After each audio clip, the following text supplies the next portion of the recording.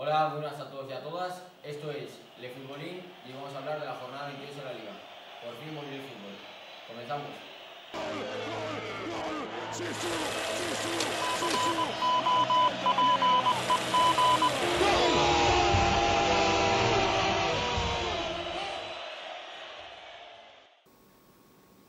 Pues nada, comenzamos con, con el derby sevillano, el gran derby, que se disputó el jueves. Ganó 2-0 el, el Sevilla ante el Betis. ¿Y qué nos tienes que comentar, Robledo? Demasiado Sevilla para un pobre Betis. La verdad es que fue un partido que se decidió por un penalti bastante riguroso. Mateo haciendo las suyas para salir el día después. Y eh, el Betis sigue sin, sin mostrar lo que se espera de, de un equipo con tantos nombres.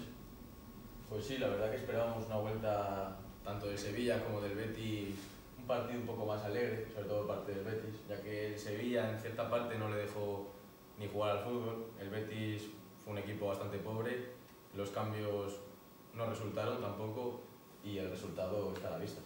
Sí, el resultado justo, más allá del penalti, que es, que es dudoso, pero el resultado sin duda fue justo. Eh, yo creo que se decide en, en dos jugadores, sobre todo. Fernando en la contención del centro del campo hace que el Betis no pueda, no pueda ni encontrar a Borja Iglesias ni a Nabil Fekir y Canales, y eso es, es clave para el conjunto de Robbie. Y luego, las pocas que tuvieron, estuvo Diego Carlos, el central brasileño, que está demostrando ser de los mejores de Europa a día de hoy. Es, es muy cierto eso y que es verdad que el Betis yo creo que peca mucho de individualidades, jugadores como Fekir mm, tapan a jugadores como Borja, que son jugadores de equipo, que esperan el balón para una posible jugada a una segunda ocasión, que encuentre el gol, pero no, no, no, no fluyó su juego y tampoco, tampoco encontraban portería, por lo que yo creo que el Sevilla fue un merecedor digno del Sí, Robbie, Robbie está claro que todavía no ha dado con la tecla, no ha encontrado el esquema ni siquiera, ni, ni el 11. Pasamos con el Granada 2, Getafe 1, partido que los de Bordalás parecía que tenían controlado. Dos errores de David Soria o, o falta de acierto y doblete de Carlos Fernández hacen que, que el Granada se meta, se meta en la pelea por Europa. Apareció Carlos Fernández, un doblete, aunque al final el gol se da a Yené. Pero Pero puerta. en propia puerta. La verdad es que los chicos de Diego eh, Martínez están, están haciendo una gran temporada y, y siguen, parece, con la misma mentalidad que antes del parón.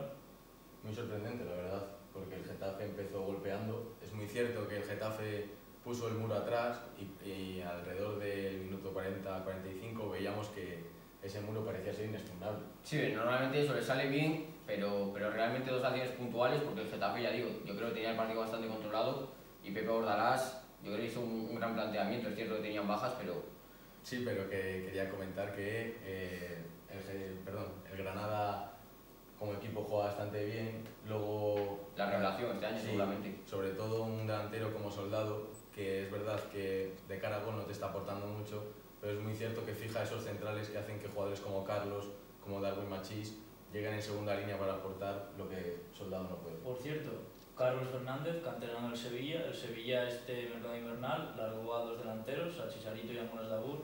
Quizás se le tendría que haber quedado. Siete goles en liga. ¿Está cedido o comprado por el Granada?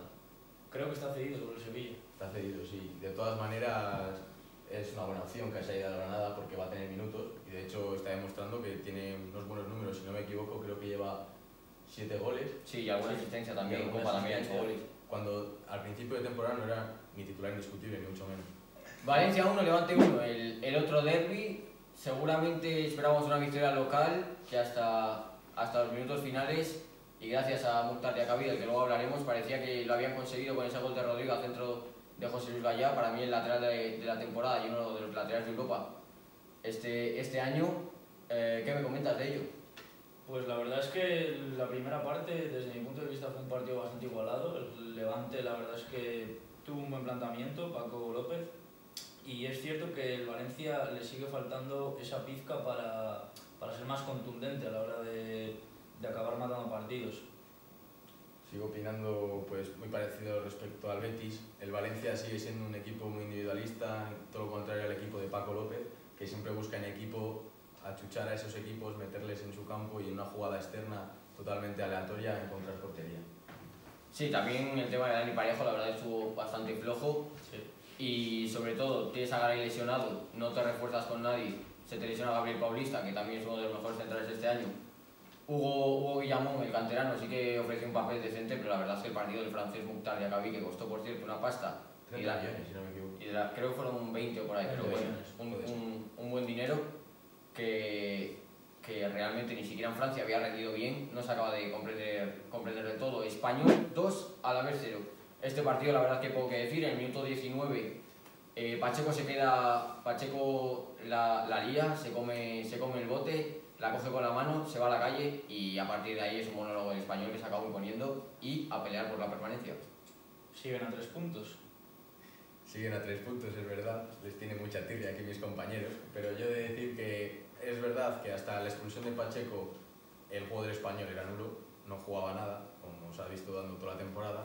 Es cierto que cuando el Alavés se quedó con un jugador menos, el español se echó encima y con los jugadores de calidad que tiene arriba es imposible fallar. Y eso que Raúl de Tomás está tocado y no se sabe si va a llegar a esta jornada. Centra 0, Villarreal 1. Partido que se juega lo que Santi Cazorla quiso. Totalmente. El de, el de la llanera. El, luego entró Pionesisto para, para prepararla realmente porque recibió dos, tres balones en zonas de influencia y, y de hecho una de sus pérdidas llevaron al único gol del partido que se, se dio en los, en los últimos minutos por parte de Manu Trigueros. Sí, la verdad es que fue un partido dominado por el Villarreal. Sí que es verdad que pecaron de, de no ser contundentes de cara a puerta. Gerard Moreno tuvo una en la primera parte bastante, bastante clara. Partidazo de Rubén también hay que decir, ¿eh? del Sí, del Celta. sí, sí, un gran partido. Y la verdad es que el Celta sigue transmitiendo unas sensaciones un poco pobres, porque sí que es verdad que han mejorado en lo que es la parcela defensiva con Araujo y, y Eixo Murillo, que llegaban a este choque con cuatro goles encajados en 560 minutos, que está bastante bien, porque defensivamente es un equipo que le cuesta. Pero el tema es que ahora tienen problemas arriba, eh, quitando Yago Aspas que lo intenta sin éxito y Rafinha, poco más. Te pones a pensar y es cierto que el Celta se ha reforzado en todas las, en todas las Sí, áreas. sí, No, no, plantilla tiene para pelear por Europa, No, prácticamente. Te pones a ver está faltando un 9 para mí. Te pones a ver el equipo el año pasado y este y es completamente diferente. Sí. La- quitando algunos La llegada- como Aspas. La llegada de Isu Murillo le ha dado una, una consistencia en defensa Sí. que también el propio Oscar ha tratado de mejorar y casualmente ahora le está pasando el efecto, el efecto contrario a lo que yo creo que quería. Más consistencia en defensa, sí, pero es que creo que no disparaba a puerta en, en todo el partido. Un disparo lejano de Rafinha. Y ojo con este nombre, Bradaric, ¿eh? Buen medio centro, el croata. Joven, ¿no? Muy joven. 24 años, si no me equivoco. Todavía le queda por la verdad. Leganés 1, Valladolid 2. Aquí pues las finales de Sergio tiene un dato tremendo el, el entrenador de Pucela que realmente contra los equipos contra los que se juega la vida, sus finales no las pierde. Tiene, tiene muy pocas derrotas, tanto esta temporada como la anterior, y siempre gana o empate. Y eso no solo te hace ganar puntos, sino también el gol, la verdad, claro. La verdad es que jugar contra el Valladolid y equipos también como el Getafe y el Atlético de Bilbao es como ir al dentista. Es, la verdad que es bastante duro. Es doloroso, cuanto menos. Y la verdad que es lo que hemos venido diciendo en los anteriores vídeos. El equipo del Vasco Aguirre no tiene esa capacidad goleadora que les ha dejado atrás Bright White y Enesiri. Vemos que si no es por Oscar, una genialidad que se le ocurra, a un pase filtrado increíble hacia un delantero que la tenga que empujar, no hay ocasiones claras de gol. No, la verdad que arriba tiene muy poquito más allá del, del canterano en Real Madrid. Mallorca 0, Barça 4, pues también poquito que opinar. Fue, fue un paseo de- del Barça en Somos prácticamente durante todo el encuentro. Se adelantó en el minuto 2 con gol de uno de los mejores centrocampistas de esta década, os guste o no, Arturo Vidal. Y, y a medida que avanzaron los minutos, pues el Barça se fue imponiendo con ese gran juego de, de posición de Quique Setién, que a mí me gustó. Y quitando a Griezmann, yo creo que es un partido muy completo de los culés, en el que Mallorca pues las vio venir. Sí, la verdad es que el Barça ha empezado metiendo un poco de miedo al Madrid, porque el Madrid, eh, lo vamos a hablar ahora, pero el partido que hace yo creo que es bastante peor que el que hace el Barça contra Sí, el Mallorca. evidentemente. Pero también hay que hablar de, del punto negativo, y es que yo creo que hay caso, hay caso Griezmann en el Barça. Probable que haya caso Griezmann y ya no solo eso, sino que es que jugando no se le ve.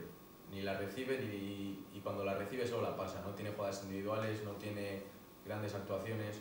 Es Ni- una sombra en el 11 del equipo. Yo creo que ni el Barça está hecho para Griezmann, ni Griezmann está diseñado para el Barça, al menos con Leo Messi. Pues yo creo que su verdadera posición podría ser la de Leo, pero evidentemente Como diría un grande como Zlatan Ibrahimovic, han comprado un Ferrari para utilizarle como un Fiat. muy, muy bueno Choco. Pero el Choco bueno es Alexander Isaac. Atlético 1, Atlético de Madrid 1.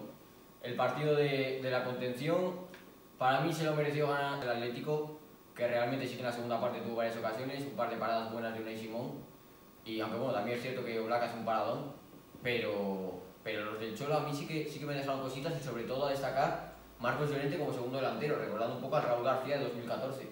Sí, la verdad que nos poníamos a ver el 11 antes del partido y veíamos esas dos líneas de cuatro y veíamos que acompañaba de arriba a Diego Costa eh, Marcos Llorente.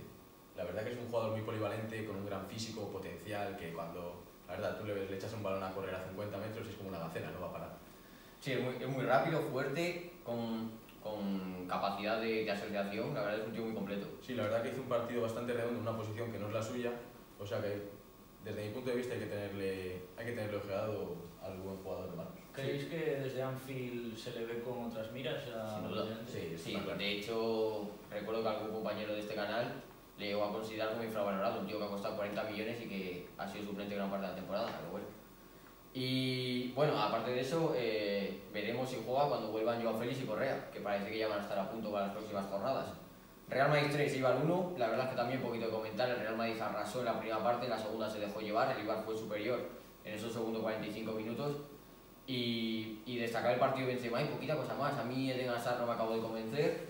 Ramos sí es cierto que estuvo imperial y muy dominante, bajo mi punto de vista, y me convenció el Eibar que salió con suplentes, pues, pensando en la batalla que tiene, que tiene el jueves, si no me equivoco, contra el, contra el Athletic, y, y para mí bien hecho por Mendilibar, no era su liga.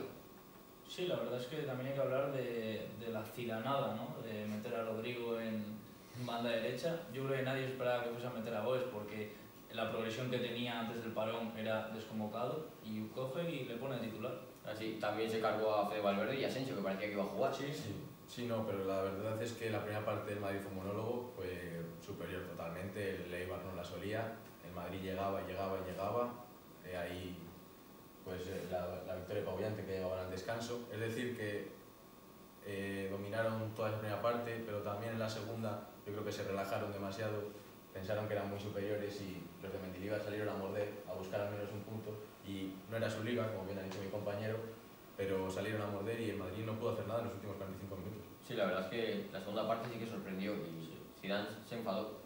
Real Sociedad 1, Osasuna 1 para terminar la jornada. Para mí probablemente el partido de la jornada. Los de los de Arrasate hicieron un planteamiento que me encantó, atacando los espacios con los dos carriles, sobre todo el partido de Permis Estupiñán, el lateral ecuatoriano de 22 años. Qué bueno, ¿eh? Que- Qué bueno.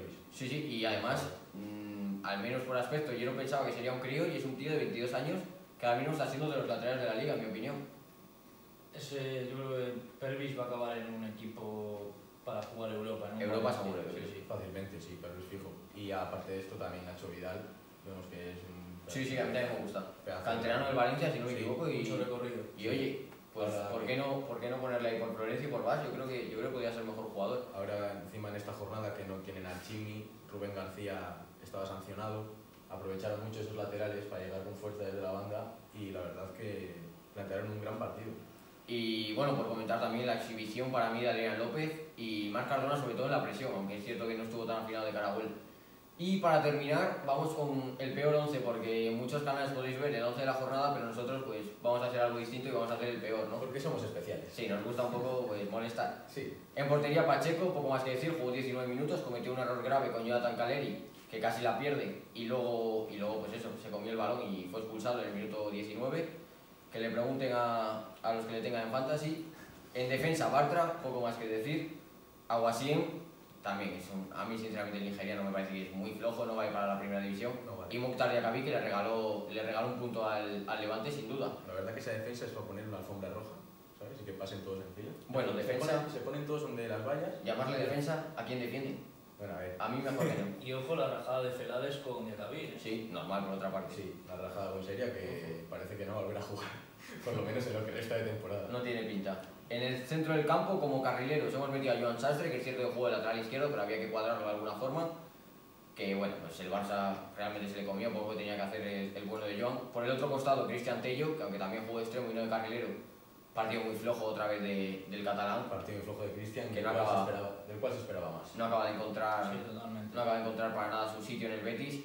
En el centro del campo hemos metido a Madou como medio centro. A mí el francés no me gusta nada, ni en el Sevilla ni ahora en el Leganés. Realmente creo que no aporta ni en la presión, si es un tío muy físico, pero con balón flojito y tácticamente bastante desequilibrado. Odegar, que para mí es uno de los peores partidos que ha hecho en toda la temporada, y por aquí algunos se ríe porque Yo- ya hablamos el, el jueves de que Odegaard en 2020 no era el de 2019. No, pero duele meter a Odegaard en este once. Claro que duele, porque es uno de los jugadores de la liga. Pero yo creo que precisamente por ser el jugador revelación, los planteamientos de los rivales se centran más en él y es ahí donde él más sufre, porque no acaba de encontrar ni su regate individual tan característico de él, ni a los tres de arriba, al espacio. Es cierto que esa característica suya de romper líneas, de irse de un jugador y meter ese pase clave, el Osasuna se lo negó. Se lo negó Sí, totalmente. tal cual. Es que es eso, cuando, cuando conviertes lo extraordinario en normalidad, al final te controlan mucho más. Y arriba, Antoine Griezmann, pues gana 0-4 al Mallorca. Prácticamente no aparecer, yo creo que es suficiente para colocarle en este 11. La verdad, cuando, Jorge, ah, perdón. cuando gana el Barça 0-4 en un partido contra el Mallorca, que Griezmann no aparece, es una señal de... Hay caso Griezmann. Le salvan mucho las estadísticas a Griezmann. ¿eh? Sí, es un tío que al final tiene. Las sensaciones que deja son bastante curiosas. Pion, insisto, como comentábamos antes, pues realmente entró de suplente, tuvo pérdidas muy importantes y una de ellas le costó el partido al Celta. La verdad que a mí el danés es que me pone de los nervios. Es un tío que lo mismo se sale, ha tenido temporadas de ser buenísimo y ahora prácticamente es jugador de segunda Sí, división. la verdad es que lo de Pione es un caso extraño porque igual un año le da por ser el mejor del Celta o de los mejores junto con Yago Aspas, de ese desborde que tiene en banda, que es muy característico Y velocidad y disparo. Y ese último pase atrás para luego encontrar Sí. gol. Este año no lo está encontrando y veremos a ver. Lo ha dicho Iago Aspas hace poco, que Pione Sisto, por lo visto, es un tío muy raro. Sí, muy peculiar. Hizo, hizo una dieta que estuvo como 20 días comiendo solo fruta, llegó a tener alucinaciones, luego de Dinamarca no quería volver. Un tío peculiar, el bueno de Pione. Y arriba Borja Iglesias, que hay poco que comentar, no se le vio en el derby. Y al fin y al cabo, a- si no, ha sido el fichaje más caro de la historia del Betis, si no me equivoco, ¿no? Pues Sí. sí, es el fichaje más caro de la historia del Betis y sin embargo pones un tronco ahí arriba y seguramente lo gana mejor que él. Pues, pues me, pones, es el pufo de esta me pones a mí y no lo hago peor. No. Pues esto ha sido todo por hoy. Esto es el Futbolín. Dejadnos un like y una suscripción porque, hombre, el primer vídeo 900 visitas y tenemos 50 likes. Eso es una vergüenza. Dale a like y, y eso, y suscríbete y compártelo si quieres. Esto ha sido todo. El canal de los que saben de esto. Muchas gracias.